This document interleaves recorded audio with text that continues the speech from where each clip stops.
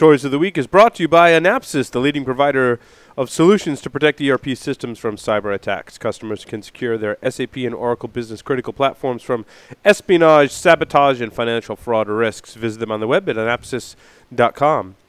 And by Pwnie Express. Check out the community edition and turn your Nexus 7 into a lean, mean pen testing machine. For all those hard to reach places, there's Pwnie Express. Visit them on the web at pwnieexpress.com.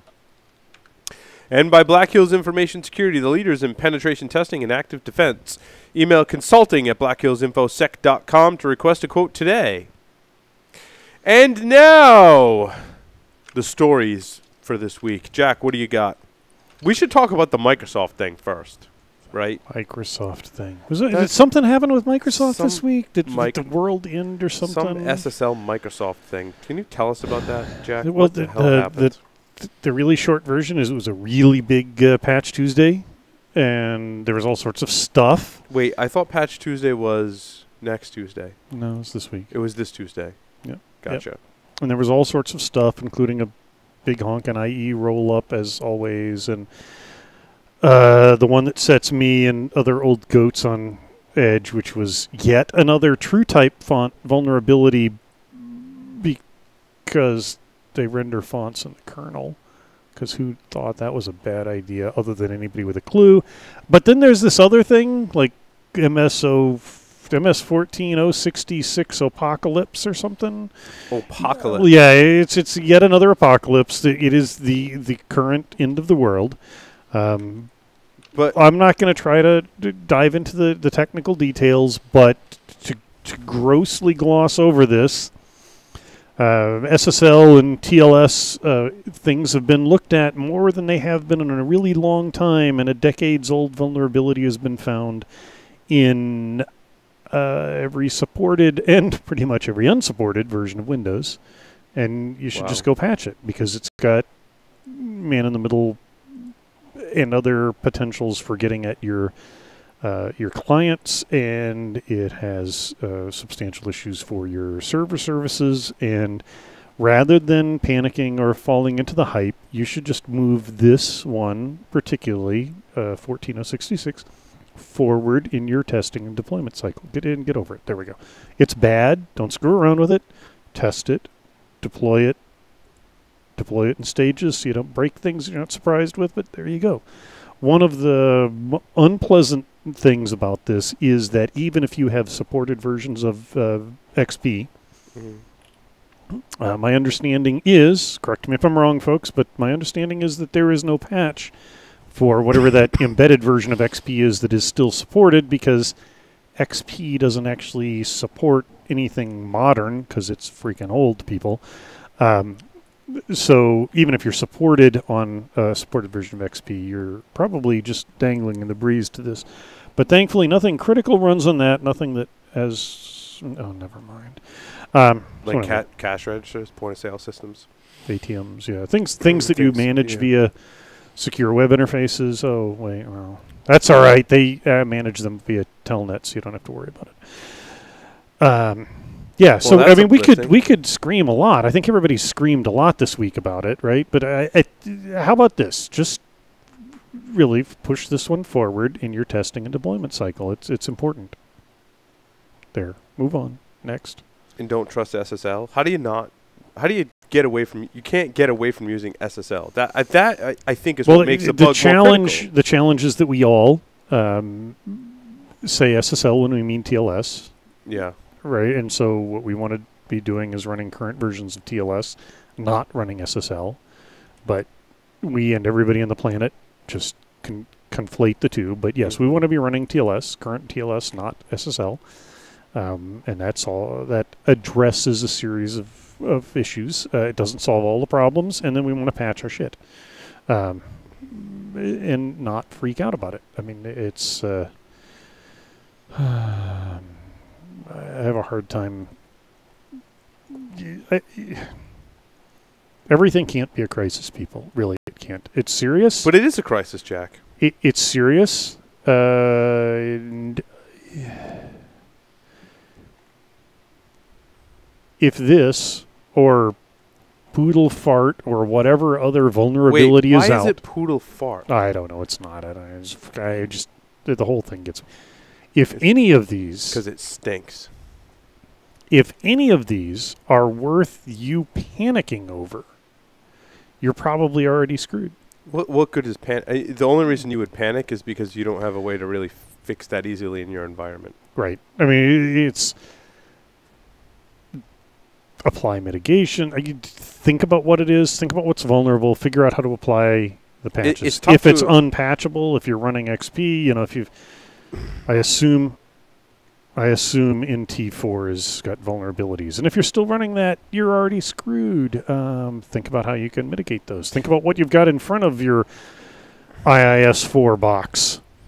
Joff, as a penetration tester, do you uh, see yourself um, adjusting some of your tactics and techniques to deal with this latest round of man in the middle type TLS SSL attacks?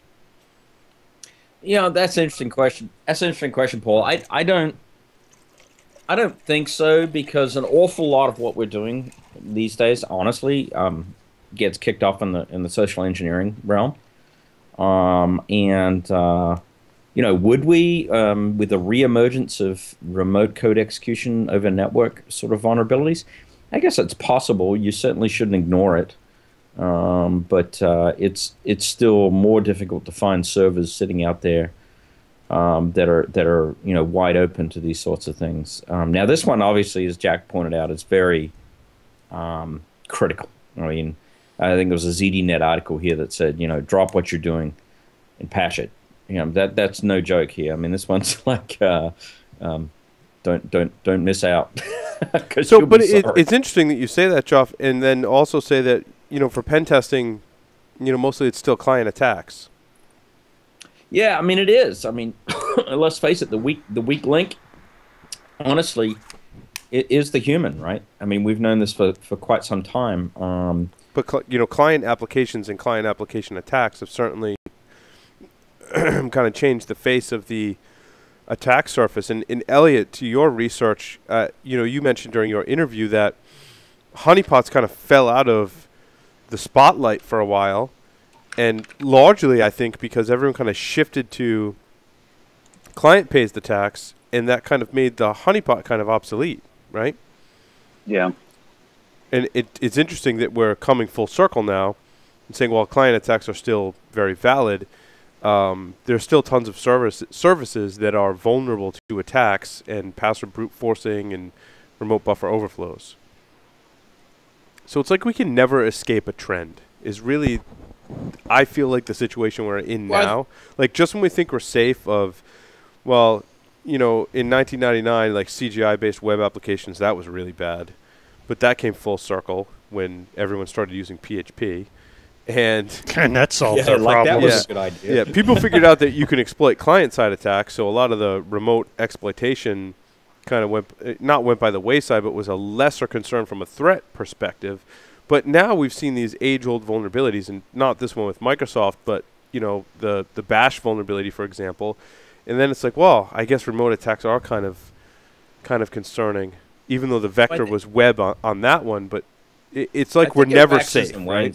I mean, yeah. here's the thing, right? I mean, I think what what you're seeing is we saw a trend away for a while because we got good at patching things. We got good at protecting um, exposed surfaces from the server's p- perspective.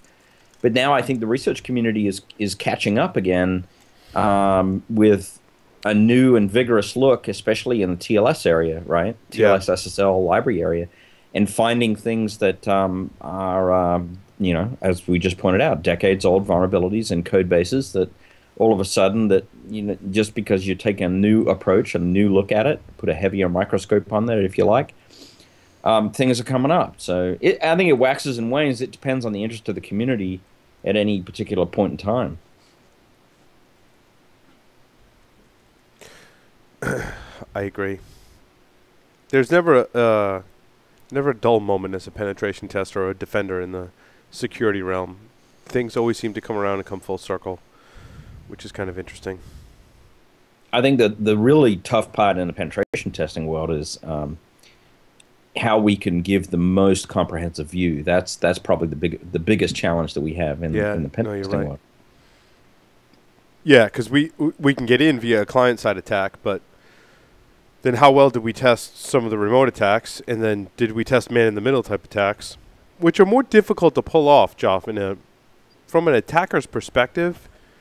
A target. I think the real difference here is with all the man in the middle attacks that are affecting SSL and TLS, whatever you want to call it, Jack. Right? We use those terms Right. interchangeably, and you're right. There is a, there is a difference but they're more difficult to pull off in a targeted attack.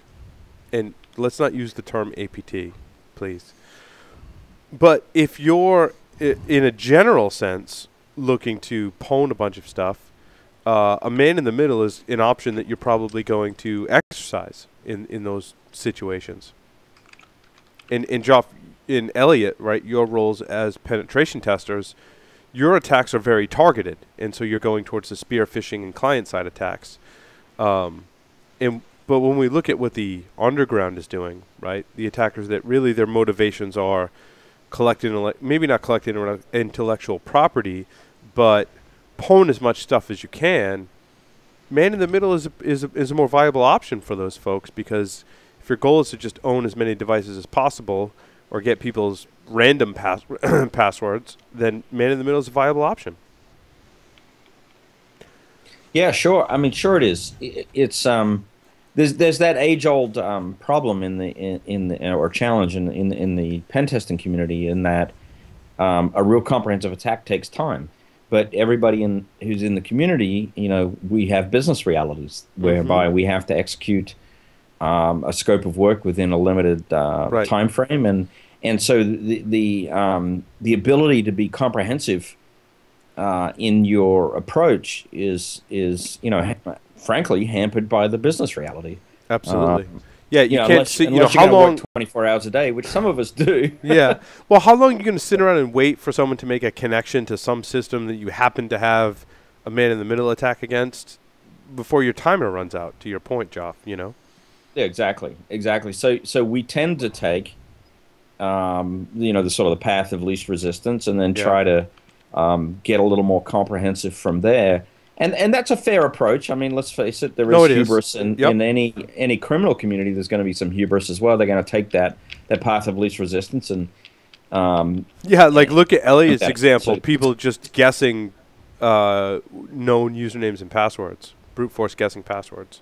Yeah, sure. I mean, so it's got value still, but um, the the real um, value add is just to use a cliche is is once you get that path of least resistance resistance, can you uh, uh, can you expand out a little and and develop um, some some real quality to your work um, to show different approaches? And and I Yep. struggle with that every day, and I know a lot of Absolutely, and that takes more time. I mean, you gain a foothold Yep. maybe through a client side attack, but then how do you show that there's some kind of man in the middle of vulnerability after that?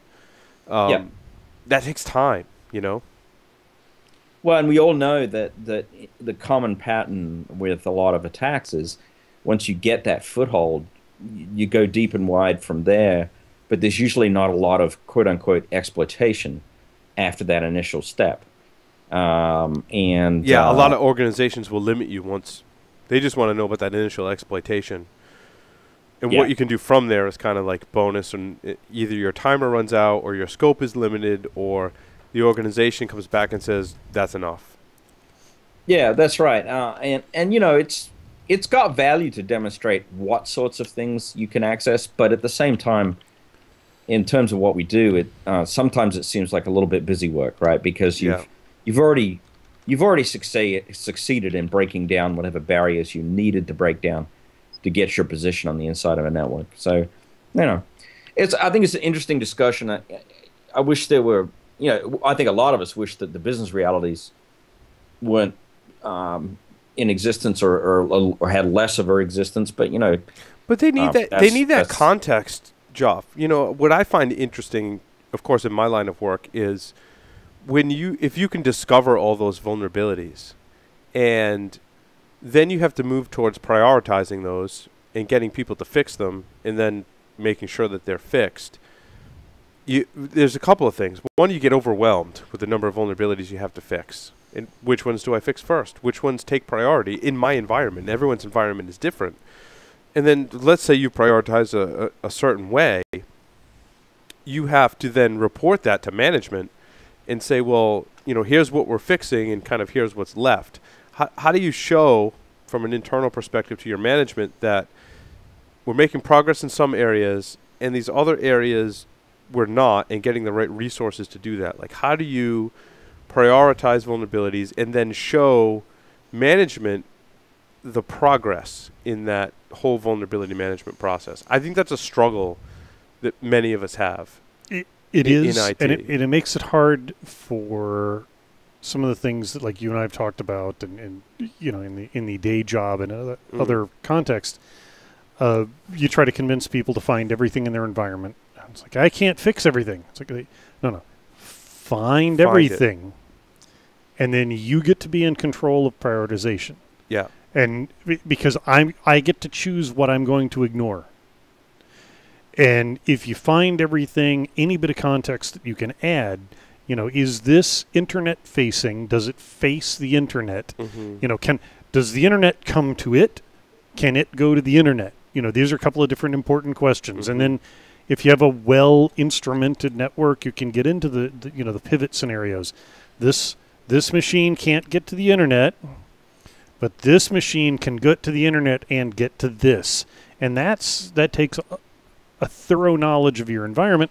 And you know, what do you how do you do it? How do you prioritize these things? So- you get down to Yeah. you you get down to um, is are there exploits available somewhere?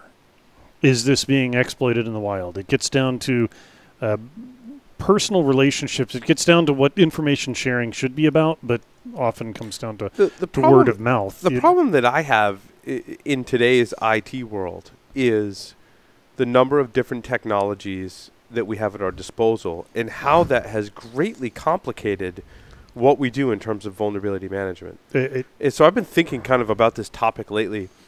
And so there are mobile devices, there are cloud, there are virtualization. Now, uh, granted, we've- don't, we've- don't forget the entire infrastructure that we all yeah, want always to had. Right, right? right, That we yeah. all want to had. forget. I, don't- I all don't the want to pick on any. applications on the Right, tens of I don't want to pick on any particular brand, but everybody's got those gray-green boxes that switch packets in your network, Yeah, yeah. and even if you try to keep them up to date, um, Right. and it doesn't matter if it's that brand or anyone, but it's. But I, I when was the like- last time you pushed firmware to your printers? Uh, no, never, because they die and I have to buy a new one.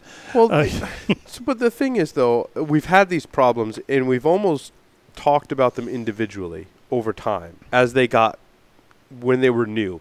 Like when virtualization was new, everyone was like, "Oh my God, the security ramifications are horrible." Then we got cloud, and cloud you break out into two different areas. I've got my infrastructure in the cloud, and I've got my applications in the cloud. I mean, yeah, they're the same. It's all infrastructure in the cloud, right? But your workforce using Salesforce in the cloud is different from you deploying 200 servers in Amazon EC2, right? So those are almost two separate problems. You're They right. are two separate uh, problems. There, there, there are a lot of subtleties. I mean, cloud is cloud is Yeah. uh, but it- is, so is Russian nesting dolls. It depends on what layer you have access to, yeah. but there's still more layers in Yeah. between. but but then you know so we've talked about those but now i feel like we've reached a point where that shit's just out of control and so we let's throw in mobile right so here's my personal example i've been giving about mobile i went to i was at this point where i was uh, i had verizon for my data service i had a mi-fi verizon hotspot and i had at&t for all of my cell phones and i wanted to do some consolidation i wanted to upgrade phones i maybe wanted to add a tablet because our tablets are getting old so I went to AT&T and I'm like, so what do you got? And I ended up buying, so just to go to show you how easily accessible this technology is, I bought a tablet for a dollar. It was an it's an LG G Plus. It's an AT&T branded tablet. Now, granted, it wasn't for myself. It's for my family and my kids mostly. It has cellular data and Wi-Fi on it. I bought it for a buck, and it's ten dollars a month to add that to your data plan. I went into my son's Netflix account and I dumped him down to standard definition because when he's watching TV at a restaurant, he doesn't know the difference. Like whatever, he's watching cartoons anyway, so you know that doesn't matter. He's not watching it on a TV. He's watching it on a. It's a seven-inch tablet, right? Um, which is not that much bigger than my phone, which is kind of ironic. But um, so uh, a dollar for the tablet, ten dollars a month to add it to my data plan. I would have paid easily eight to ten times that because my kids will be good when we go to dinner together, right? But that price point allows me to so easily add technology to my portfolio. Translate that now to the business. that can add this technology, not just the mobile example that I gave personally, but this virtualization and cloud technology has come so far down in price, and the benefits are are just awesome. I mean, my personal benefit, right, is you know my kids can stay occupied. If you've got a a 19 month old, right, you know the trials and tribulations of going out to dinner, right? It can be horrible. Um, so if I can get an hour uh, uh, of dinner time, that's great. 29 year old, so uh, Yeah, he probably needs one too. Um, but now translate that to a business, right? Every user is showing up with a laptop, a phone, a tablet. They want access to the latest and greatest uh, cloud-hosted Right, right, application. They do. And yeah, but there's a, in the enterprise there's a different set of challenges even in smaller enterprises which is it's easy for you to downgrade the resolution on the kids la- on the kids tablet but if you are responsible for vulnerability assessments and Mhm. your vulnerability management in our world and uh, you want something to be fixed on the server clusters oh, that's somebody else that you know that's a different fiefdom. Um, and you want firewalls updated because you've scanned them and they've got a problem, or routers or switches. Mhm. You know, there's another fiefdom. And then you want storage. st- right, and so they're all the the fiefdoms, Mhm. and that's where I think it gets even more challenging. Is you have to apply your vulnerability management process to all those different fiefdoms. Right, and you've got to show them value Mm-hmm. in cooperating with you and getting it done. And the you know that's a real challenge. And that's report all that to management and, and- get resources I, I guess one of my points is as IT security we need a lot more resources at our disposal to keep up with all these other growing technologies. And that's presented itself in these individual examples but now take a step back and look at that as a whole. I think it was our vp of strategy really kind of made it very clear to me that all of these technologies are converging right? You've got your um, you've got your cloud application, you've got your embedded system in the Internet of Things, as we'll call it, and um, you've got your web application, and and all those things are intertwined, right? Like my wife's scale or treadmill or whatever is an example. My Nest thermostat is a good example of that. It's an embedded device that sits on my wall. It's on my network. It runs Wi-Fi. So now there's wireless security coupled in that, as well as an embedded device, as well as a cloud application it's reporting up to, as well as a, a mobile app that I can put on any of my phones and tablets so that I can adjust the temperature in my house. And that model now is being applied to everything, and it's creeping into all of the organizations which we set out to protect as security professionals. and we still have those fiefdoms, even though you know it's just switching. Yes. Well, it's switching that runs Linux. yep. Um, Yeah, exactly. It's an embedded device that runs Linux. In the cloud, there The- might be some Linux under the hypervisor, and then Mhm. the web application probably is could be Linux or whatever, and the What- mobile app is running on Android, which is yeah. and one of the frustrations as this as it converges the the, the ability to um, use the tools that you've already got in place. It's like, hey, Mhm. you know what? I have this thing that I use because I'm the packet monkey. Mm-hmm. But what I know about my packets is useful to the SIEM guys because they're doing Yeah. all right. So I'm a packet monkey, NetFlow, right? NetFlow, look at what's happened with packets. I know what's going on. By itself, from the network perspective, that can be very informative. If I were to add the context that application people may have or your mail team may have, that could become a lot more valuable. But it's breaking down those fiefdoms, and I, I don't know. I don't know how to solve that because then, because the real challenge to fiefdoms has nothing to do with technology; it's people, and we all know that, man, people are crazy. What, did, Wow. we, what did we just accomplish? I, I don't know. I was just Not a rant. damn thing. I wouldn't call that a rant. I would No, call that was just- rambling. Re- yeah, we're was rambling. rambling, but It was it's um, it is interesting that it's all you know. It is, as you said, there there is a convergence of all sorts of things, and we're not converging the management and even observation of Yeah, the, the technology. converged Yeah, environment. the technologies are converging, but we are not in That- IT th- and IT that's it. security. There you go. That's a great Right point, there. Jack. That's a great point. You just distilled that Yeah. whole ramble. that whole rant, basically, Down you and I to- boiled it down to that. the technology is So- converging, and we are not. And if we don't, we're more I'm screwed going to drop the are. microphone now because there is nothing more We're prolific that we could say. to Well, that I- I- point, Bon appetit, or cheers something. to that. cheers to that. I, I had a saying when I used to work in a larger enterprise environment, and, it- and it came down to this, um, especially larger organizations. We have reached a point where the technologies have exceeded our capacity as humans. Technologies exceeded our humanity because y- y- these organizations cannot cope with this much diversity. I mean, that that's what you're expressing. Yes. Um, and you Well know, said, there are some that are able to by limiting the choices, right? By containing the diversity. And that's a very top-down kind of approach. I mean, banking environments come to mind. Um, but you know, a tremendous amount of the other ones just cannot do that, and so they are by nature drowning. I mean, just it just is. and, and it, it, it's it's a difficult thing for someone like myself to deal with who loves technology and I want to adopt technology, but then the security aspect of me is like, wow, this is really friggin' bad, and that that that can be a tough thing to deal with. And, and I I don't like to promote the, you know, the IT security school of no, where you just say no, you can't have this new technology you're, you're never going to win that. You never were going to win that in the past, and you're certainly not going to win that now, because there, this technology is enabling business uh, in a huge way. And when it comes down to That's it, right. it's you know it comes down to the bottom line um, for every organization. E- e- even you look at the academic models, right? I mean, they're huge adopters of technology they've got a, a really large audience to appeal to that is directly contributing to their bottom line. Look at their student and faculty population, right? I mean, that's that makes their bottom line. So, um, you, who's to, to say from a security perspective, well, we shouldn't implement that technology because it's insecure when it contributes so much to the bottom line? Well, the the the um the no approach um, in the more open environments, particularly uh, um, academic, it just flat doesn't work.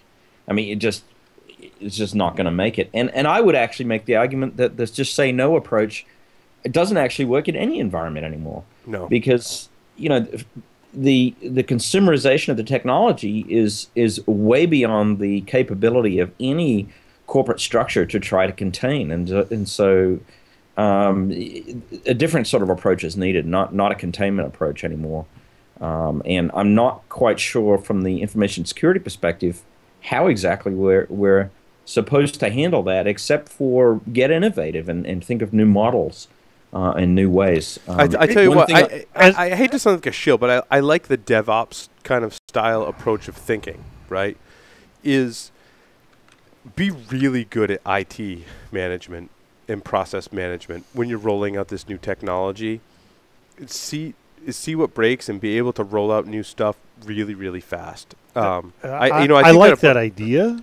Y- yeah, the it's very- execution. the execution is very very So, y- difficult. y- So some, you know, Joff, keying off uh, what you've said, one of the more, um, I don't know, interesting, informative, discomforting conversations I've had in the past year or so uh, was at, um, BSides Nashville, I was chatting with uh, Winn Schwartau, and we were talking about the the complexity of the systems we face. And he pointed out that you know years ago, as a computer science student, you would be asked things like, "Tell me everything that happens on this computer system in a 15 second window or a 5 second window." And if you go back enough years, that was actually a viable uh, assignment. Sure, if you were to if you were to ask that of somebody today with a I mean, we're not talking high-end systems, air quotes, not high-end systems. We take my new Ultrabook.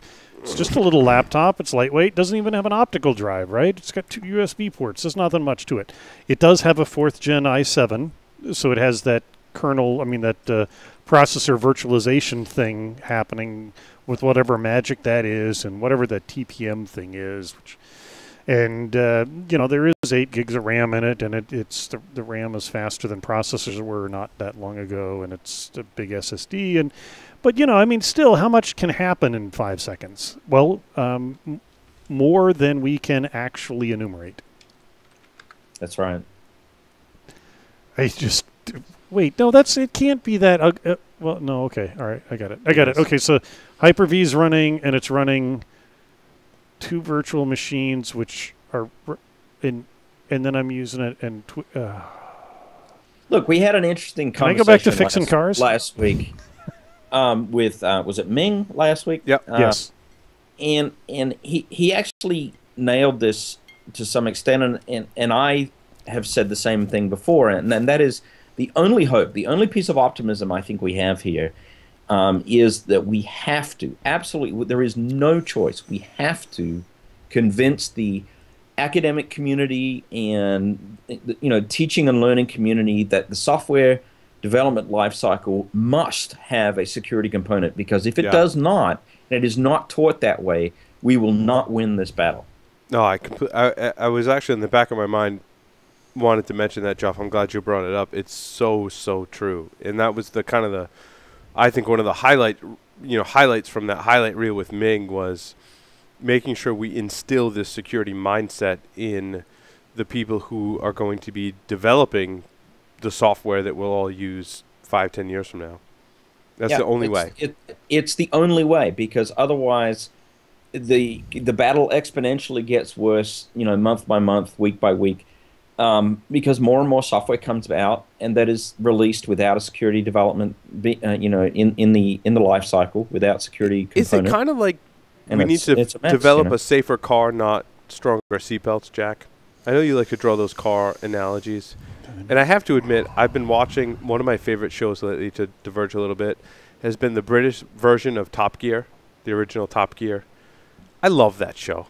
Oh, Chris, Chris is, is It, it giving me the fist pump. so much better than the U.S. or Oh, Australian. I watched one versions. It episode of the U.S. one and never watched that again. The only version now, the, my only complaint Yeah, about the the British, British version is brilliant. I need to get some of my, my, my British friends to help me out with some of the things that they reference because I don't get all the references because they're you know they're from the UK. I'm like I don't.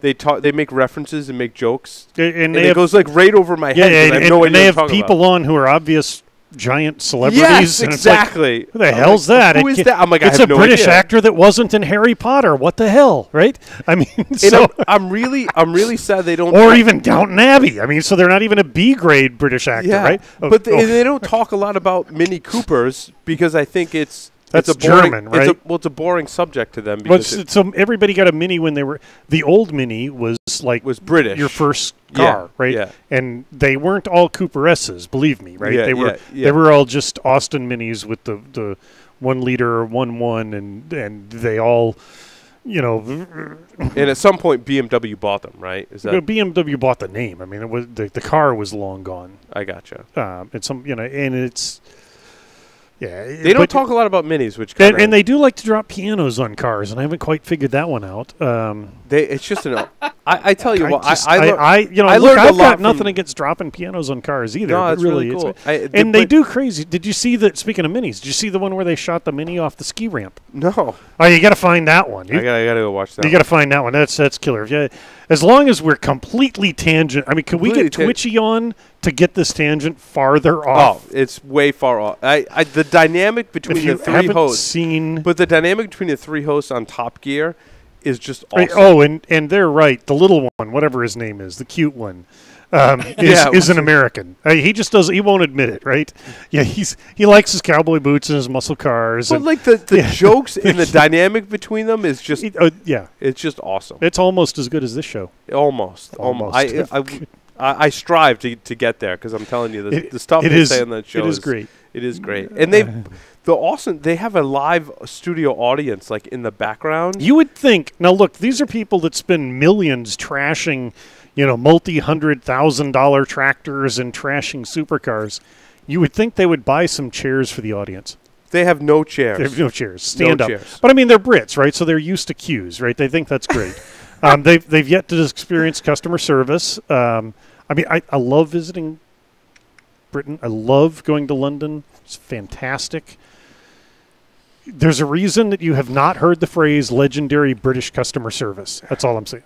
We we have we have an office in the UK at Tenable. I We think do, and- I need to rely on them. Those to give me guys some are background. fantastic. They are. As a matter of fact, awesome. she needs to wake up right now, doesn't she? Maureen needs to wake up. right Marine now. does need to wake up right now. So Yeah, um, wake up, Marine. we- It, it props to, to Gavin and Colin who are doing some stuff um, for the latest Nessus release. Um, so we need to hit those hit those folks up to give us some context for Top Gear. That's that's what I'm So, yeah, saying. that's right. Well, John Mack. Well, no, uh, John Mack would just mess with our heads. he would, yeah, Um, he would tell us the wrong he information. He would yeah, yeah. completely mess with our heads, and we'd be making a. We'd be saying If you, stuff. i- but i I'm sure there's is there job openings in that o- in that office. I don't know currently. We do have an office there, I and we are hiring. I'm not sure now if we have openings. If I you do, if you're listening and you're you're in and you're in that part of the world, well, when when you joined the company, there was not a UK office or there was not. European No, there was no. And when I joined, there were two, three people, people. that quickly escalated to six, and last count was what thirty four.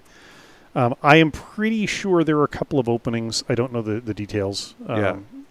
And it, it's a good crew, and they actually believe in customer service too. It's, it's absolutely they do. um, but uh, yeah. So I don't know. So anyway, what we're gonna do? I, we're gonna I do? love Top Gear. This, that was really my point of the Uh, I just wanna else, chill- what else do chill- we have to talk about? I don't chill and watch something. Oh, it it, it Oh, kind yeah. of it gives me more idea ideas for the the Stogie Geek show, right? Because they review cars, Right. And they have their opinions on cars. We have our opinions on cigars. On this show, yeah, I mean we have our We opinions. certainly. You're, We no, we don't have opinions. opinions on this show. we have opinions, right? But they're not they're not so like product focused. I mean, we'll Right, talk about right. products, but they're not so much. So, so you need the stig for cigars we, yeah, we to need the Stig, baseline everything. the Stig. You need the the cigar stig. Um, oh, they reviewed the Nissan Cube, and they completely trashed it. It was as hilarious. well as well they should. As well they as well awful, they should. awful, I- it's- horrible looking vehicle. it- it- I'm not even calling it a car. It's a vehicle. It's yeah. It's horrible. Yeah, it's it's, It's like crazy, and the they, then they do some of the it the- dumbest stuff on the planet. I it, mean, it just yeah. so so anyway, what else? Uh, I don't know. Uh, d- news, new news. I don't know if anybody's heard this. Oh, was this allegedly the new, was this the news segment? yeah, allegedly, and I put allegedly, the Chinese are attacking the U.S. government and have hit the post office and the National Weather Service and or NOAA, National Weather Service. And um, and- and Home- nobody's Home really Depot talking again? about Home Depot again. No, Is it's that- still or something. Nobody's talking about motives. Nobody's talking about the accuracy of attribution. Although I heard recently on another podcast that attribution is easy and accurate, and um, I was alone, thankfully, when I heard that because there are no false flags. There is nobody that has taken advantage of standardized indicators of compromise and traces of uh, known groups to hide behind. That, forget it. Um, just one interesting thing about the National Weather Service attacks. Two interesting things. One, allegedly, uh, they did not report as required uh, as a federal agency. But the one that really got me there is I, I just don't understand the attribution and the motives there, except in an actual kinetic conflict. Screwing with forecasts kills people. As someone who has a couple of times done some blue water sailing in in boats from 42 to 110 feet. Um, you know, when you get offshore, as a matter of fact, you don't even have to get that far offshore for the marine forecast to make a difference between a good day, a bad day, and your last day. Uh, and so, screwing with the ability to communicate with radar and things like that, uh, that's not good. It it put a burden on commercial airlines who had to have their meteorologists fill in details that normally were missing. I, I don't understand that as a nation state attack as alleged. I see that more as um, somebody screwed up. Now it could have been, it could have been uh, a, a nation state. Um, the China, it just the whole blame everything on the Chinese thing. I'm not saying that the Chinese do not do Deserve espionage. blame. Yeah. Uh, but i- if it's if it's financial, we're going to blame the Russians, uh, and if it's non-financial, we're going to blame the Chinese. Seems to be a default position, and you know there's some reason for that. But uh, these I, I'm kind of worried about, um, and it uh, I don't know, I don't know, and I, it really concerns me when you screw with forecasts because, like I said, um, that's like dead people and stuff. That's not good. Um, Oh, speaking of dead people and voting, because that happens apparently. Uh, there's a oh, that's right. We are in Rhode Island. Yes, there's Ah. a link to modifying an off-the-shelf wireless router for PDF ballot tampering. Um, Chris uh, linked us to this article. Uh, I find it interesting. We haven't talked about electronic voting in a while. That was kind of a hot topic several years ago. Um, I will relate it to another TV show that I'm watching. Have you watched Scandal, Jack? You got to check out Scandal.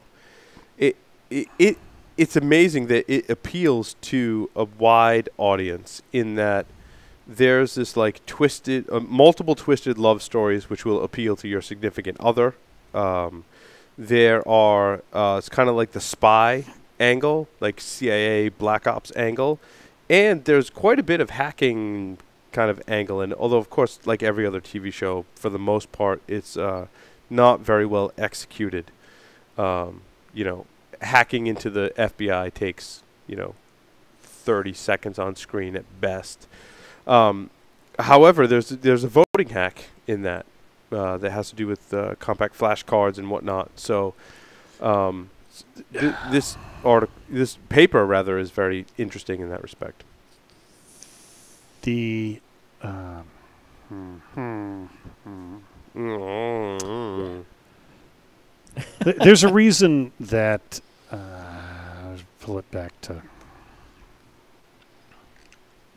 Where are you going with this, Jack? I'm going for a trip. So before I go there, You're going to B-Sides Delaware. I'm going to be You're leaving right from here to B-Sides I'm, I'm leaving from here. Um, so before I go to that one, let's talk about uh, a couple of my stories, uh, just of historical interest. My story number seven, which is actually two. Um, since I've been digging into this sort of thing, um, believe it or not, there is for the, for those that missed the good old days or missed the good old days, and good old days is in air quotes there. Uh, up on SourceForge now, there's a project that uh, has a simulator for the Multics DPS 8M mainframe. If you want to see uh, where we came from, and there's also an interesting story on remembering the women who did uh, code breaking uh, for the UK during the war. That would be World War II. Um, so there's uh, some interesting historical things cooking there. Um, and then what I was going to say about the, the voting stuff, and I bear with me while I fumble and stall to make sure I don't get it wrong.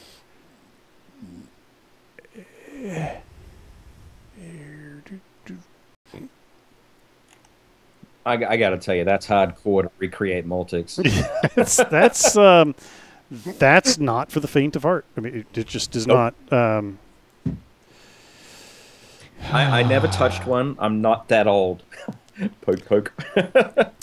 uh, nor am I, because that actually uh, predates me. I was a mechanic. I wasn't even. So Ron Rivest uh, created uh, a voting protocol called the three ballot voting system, and it's end-to-end auditable, and it, um, it is based on what he's learned in cryptography. But R- Rivest created this thing to be implemented or can be implemented on paper because Ron Rivest, the R and RSA, and many other crypto things. Um, the R of RC, all of those things, uh, several MDs. Uh, Ron Rivest said democracy is way too important to leave to cryptography. So he created a, a three ballot voting system which can be ex- implemented in paper. And basically, you, cr- you vote three times. Two of the ballots cancel each other out. The third one, therefore, becomes your real ballot. But by doing this, you're creating an obfuscation and trackable level of, uh, of voting. And this is somebody that knows something about securing communications over the internet, and he came up with a paper ballot system. So uh, it is interesting that there's that much of a simple attack. But now, now we're getting back to the uh, bad old days of um, that uh, Ohio-based company and their uh, e-voting systems, which you can still buy on the internet and people still use, even though they're garbage. What else? Are we done? Have we wandered? No, Joff, you have to talk to us about a reroute of Russian traffic. Please oh, do. right, right, right. This was really more about um, talking about BGP, which people forget about uh, in, in, you know, in the good old days. Uh, in my life, I, I spent a lot of time in as a, a, uh, a lobotomy, a quart of vodka, and a handgun, and I you couldn't forget about BGP, but still. there you go. But uh, it's amazing if you actually sit down and do some trace routes once in a while, even even from your home ISP, where your traffic will go. And I think it was it was interesting. Maybe they're using uh, Apple Maps. Uh, Yeah. Ah. Uh, it- so I'm not even going to talk about the actual story. What people forget about is that um, that, that routing in the internet is is um, a, a a unidirectional entity, and that route prefixes are advertised global wide into the Border Gateway Protocol into the into the global internet table, and they can be hijacked at any moment, and are frequently um, hijacked by longer prefixes, and every everything. Everything in the BGP table is all No, about no, no, no. People filter that out. I mean, because what was it, 15, they do. 18, They fi- 15, 18 years ago? I mean, the, the L0pht got in the green van and, and drove to D.C. and testified and explained this was a problem. And nobody They would did. ignore a fundamental problem in information security for was the decades. van green? I believe it was a green van. It was a van. It was a van, and it had antennas on it. And it right. took a so, I mean, so, so the better providers out there. Okay, let's let's just admit right now that you know there is a massive difference between various uh, tiers of, of network providers in, in the world. Right, the better providers have got very good uh, security on their on their BGP peering. They're they're doing appropriate authentication with with MD5 or, or greater with their peers. They're filtering prefix with prefixes uh, in terms of length accepted into their route table. They're doing AS path length fi- uh, filtering. They're doing all Yep. sorts of great things to mitigate these sorts of things. But that is not true universally across Right. the planet It- and the it- internet. A- And the Uh, the important thing there is that when you do that trace route, the dumbest, laziest, and most insecure hop on that trace route is the one that decides whether or not you're going where you belong. Exactly. And so that's, you know, it, it it's an interesting turn of events for countries to sca- to start thinking about and get upset with their their traffic leaving their borders because the fact of the matter is this is an, a global internetwork and traffic leaves borders all the time. Uh, and I think there's going to be sort of a, a, a political realization there over time. And It'll be interesting to see where that develops um, because uh, um, you know it, it started in the cloud world, right? Everybody got sort of upset about where things are being stored in the cloud world when they haven't really thought about how things are being transported. So uh, that's going to get uh, a little more interesting over time, I think, from a political, geopolitical standpoint. But that goes into the balkanization of the internet um, idea that's becoming more and more real. It's not just China. I mean, the the balkanization of the internet, people exerting control over DNS, which starts to exert control over the entire thing, and then uh, what you do or don't do with your BGP. Uh, we start to put some walls up in that um, global inner network, and whether or not there are always routes around it, we don't know. Eh, But yeah, it's uh, it's interesting. Um, if you have a multiple homed ISP environment, which a lot of these big ISPs are, you know, I don't want to undersell this. It is incredibly complex to maintain all these peering relationships and in, ensure that the appropriate filtering is done. These guys are doing heroic jobs in, in the well-run ISPs. So, eh, then the point of that is that uh, mistakes can happen and do happen. I- but not only that, there is intention to some of these. right, right. There, there, there's well. some intention to that. I, I um, let me just say, I think that there are some people, some individuals doing heroic things in badly run ISPs too, just trying to to pull Stay things alive. to stay alive, right? Because none of us have ever been in an environment where we were totally screwed and just did the best we can and accepted how bad it was. Uh, it's just the consequences are different when you're talking about running one a single server exchange instance or running BGP for a you know a mid-tier ISP. Um, Yeah, exactly. One of the most terrifying things I've ever heard uh, was at Interop a few years ago, where I was chatting with somebody who said uh, he was he was really interested in security, but he he just didn't have any time for it, and he. Uh, you know, he didn't work in security, and I asked what he did, and he was responsible for managing BGP routing for sort of a mid-tier ISP, but he didn't do So he anything with did- security. Well, yeah. He did. I mean, he just did routing, not Mhm. and. But you know, he was trying to get the packets to flow. He was trying to get the packets where they belonged, and he was doing everything he could. And um, yeah, yeah. Uh, what else? What else? I don't know. We got a bunch of stories. there. I um I think we should wrap up. I think we should wrap up. I okay, let's. ta- you know what? let's I- take a break. Let's take a short break. Come back and wrap up uh, this episode 395. Did I get that right? 395.